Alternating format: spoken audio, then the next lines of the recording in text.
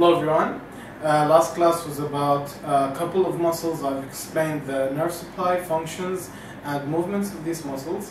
And um, I've also explained the origin and insertion. Origin is where it comes from, and insertion is where it inserts, where it attaches. So basically every muscle has, a, has an origin and insertion, and we also call the middle part between the origin and insertion, we call it as a, we could say belly, the fleshy part, the muscle part. And at the same time, the insertion, we could also call it as a tendon. So basically, any muscle I speak about, we, it has an origin and insertion, and uh, we have a nerve supply and a function. Now continuing this lecture, uh, we have the deltoid muscle. Deltoid muscle is a very well-known muscle. It is the shoulder muscle. It's called deltoid because it's triangular in shape, and um, it's the lateral. Uh, it starts at the lateral third of the clavicle, acromion process, and the spine of the scapula. So let's say this is the clavicle, this is the acromion process, and this is the spine from behind.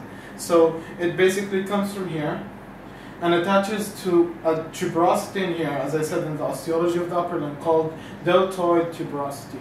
So this is about the, the origin and insertion. It's supplied by the axillary nerve, and at the same time, we have three functions of this muscle.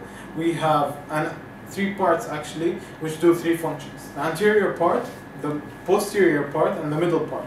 So basically, if I do this movement, I'm flexing my arm so this movement is flexion. The anterior part this move, does this movement, the flexion, and the posterior part does extension. And basically this movement is a well-known movement called abduction from the middle part.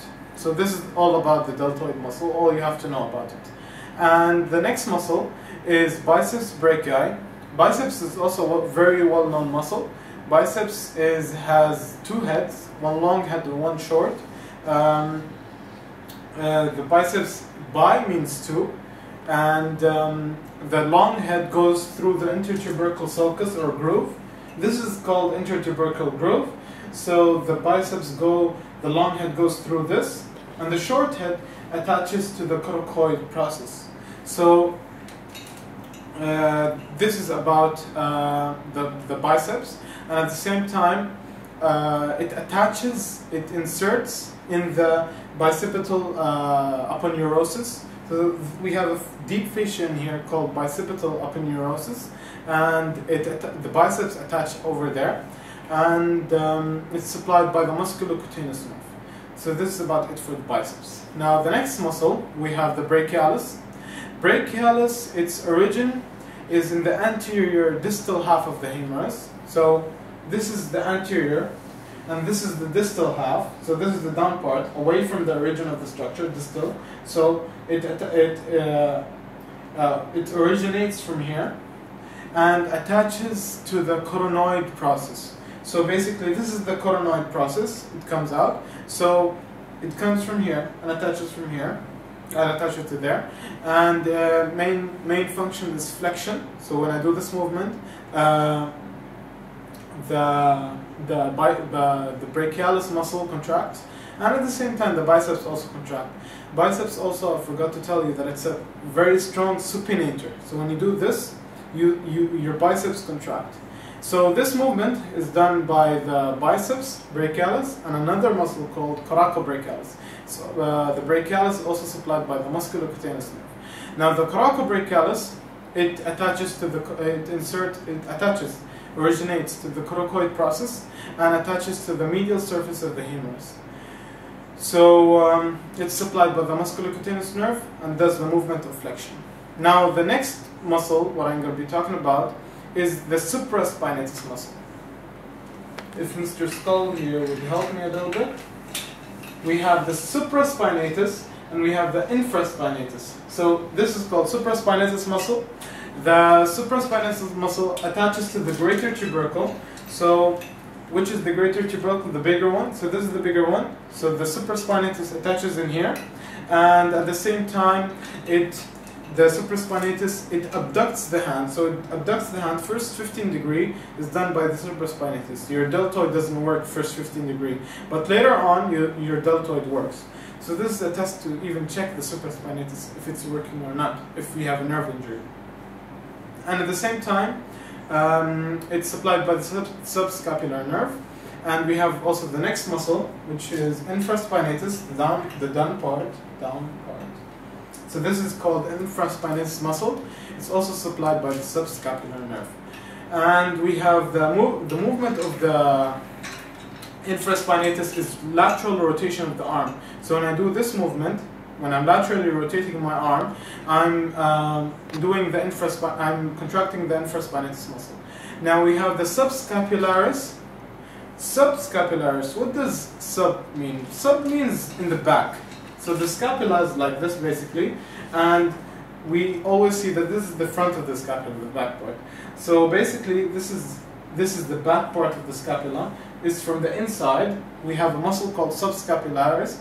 If we if we uh, reflect the serratus anterior, we can see the subscapularis under this under this muscle, and um, it attaches to the lesser tubercle.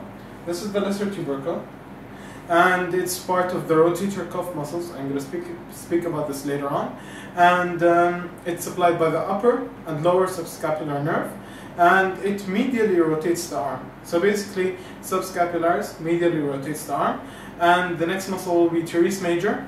Teres major uh, it attaches to the inferior angle of the scapula. So it in, or it originates actually in the inferior angle angle of the scapula. So this is the scapula. We have this superior angle. We have the inferior angle. So basically, the teres the teres major comes from here and attaches to the humerus. It attaches to the medial lip. So where's the medial lip? This is the medial lip it attaches to the medial lip of the intertubercle groove. So basically, it comes from the uh, from the inferior border of the scapula and attaches to the medial lip of the intertubercle groove. And um, we have teres major, and we have the oh, another muscle called teres minor. Now, about the teres major, it's um, supplied by the lower subscapular nerve and does adduction and medial, rot medial rotation. So it adducts, it puts your hand down, and it medially rotates your hand. Now the next muscle will be teres minor. So we have the bigger muscle teres major, and the next muscle will be teres minor. So this muscle, uh, it's it's uh, also in the lateral border of the scapula. It originates in here, but it's a little on top of the. So teres major, let's say it comes from here and teres minor it comes a little above it. So uh, it uh, also attaches to the greater tubercle and it's supplied by the axillary nerve. Now knowing that it's supplied by the axillary nerve is very important. They mostly get these questions because they're very tricky about, about what it's supplied with. Now, um, its function is it does lateral rotation of the humerus. So when you do this movement, you're also contracting your teres minor. Now we have the rotator cuff muscles. Um, rotator cuff muscles are supplied by the, uh, are actually the supraspinatus, infraspinatus, and teres minor, and subscapularis. So these are four muscles. So if you put your finger like this, like this, uh, the four muscles will attach in the greater tubercle and the lesser tubercle, or yeah. So the, the supraspinatus, infraspinatus, and teres minor attaching to the greater tubercle, and the subscapularis attaching to the lesser tubercle. So basically, they hold the, the humerus from, uh, let's say, a dislocation or something. So they make the humerus stronger, a stronger part. So at the same time, uh, we have a weak part of the humerus. So uh, the least supported part of the humerus, where you could, where an injury could happen towards it, is the shoulder, is the uh, uh, the posterior part, posterior aspect, uh, because the rotator cuff muscles are not there in the posterior aspect, are not there to support the posterior aspect. They support the anterior, superior, and inferior aspect of the of the humerus. So basically, the posterior part of the humerus is the most part that could get injured and uh, it, you could have a dislocation uh, in the posterior part, not in the anterior or uh, superior or inferior part. So this will be about it for the uh, for, for this lecture for the nerve supply. Next class will be about the forearm muscles and nerve, nerve uh, functions of the forearm muscles. I hope I made it easy for you. Study hard. Thank you very much.